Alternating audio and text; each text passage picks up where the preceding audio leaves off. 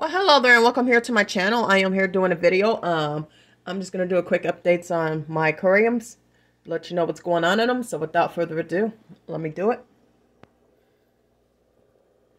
Okay, right here is my, uh, this is my Molly and Platy tank, but I'm getting ready to change that out. Because I only got two Platies left. And then I did put in four mystery snails. I ordered them off Amazon and they're still doing fine as mine. I got four. As you can see, there's the golden one. They're still kind of small, on the smaller side, so it's kind of hard to see. But let me turn my light on. Maybe you can see them a little bit better that way. Yeah. But I do got four snails in here. They're all doing good. I got them like a week ago. Ooh, maybe I should clean that out too next time, but... Yeah, there's the other one is somewhat, oh, it's right beside it. You can hardly see it because it's small, but there are four in here and they're all doing good. Um, I've got the live, um, let me turn this back off now.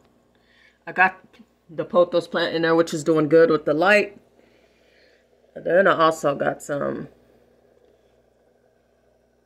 some plants that's in the gravel are doing okay. So, yeah that is pretty much what's going on on that end of the, of the fish tanks. Yeah, I am changing things up. I have even thought about, I'm thinking about getting back into goldfish. Because I had a goldfish that grew out really, like, over a foot one time. So I might think about doing that. Just start getting feeders and putting them in here with the snails. That's that's the plan anyway right now. Because I was either going to do killie, put some more killie fish in here, or I was just going to try to raise some goldfish and put them in here like the goldfish feeders. Get a bunch of those and see if I could grow any of them out. Or either that I'm to get killies. I'm to do one of the two to this tank. So, But I'm leading more, right now I'm leading more to, towards goldfish. But you never know. Okay, down here we got the African clawed frogs. You turn the light on to see them better. Because they don't got no light whatsoever. Oh my god, and they're hiding. Oh, there's one peeking out right there.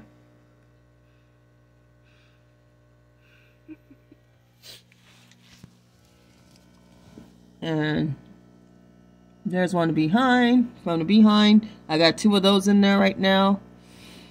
They're doing really good. Oh, okay, one is out. Super, super stoked. I love frogs. Frogs are like my goatee.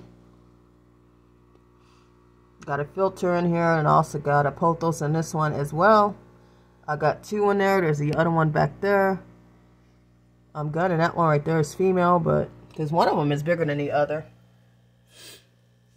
And up here, nothing really going on here yet, but like I said, it's almost done. Well, it is pretty much done. I just got to get the stuff to put in there. Um, I do want to put one land thing over there for the crabs and stuff. I was thinking about putting um, mystery snails in here with the crabs. Y'all think that'll be okay?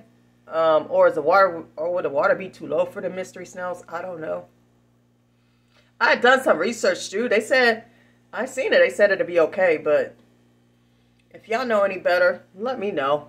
Let a girl know, please. but anyways, not much is going on. Just um, got this tank set up. Um, already, I'm already starting my spring project, so I am super excited. I'm super excited. It's spring. I didn't do a garden tour Saturday. I got so busy. Um, but yeah, hopefully I'll plan on putting one out this coming Saturday because I'm in this Garden Saturday collab. So hopefully, yeah. But anyways, I'm going to go ahead and end the video right here. If y'all like these type of videos, pets and plants, please be sure to give me a like. Subscribe to the YouTube channel if you ain't already. And please hit the notification bell so you get all the videos that come out. Until the next one, may y'all have yourselves a blessed day. May y'all stay safe out there. And may God bless each and every one of you. Bye.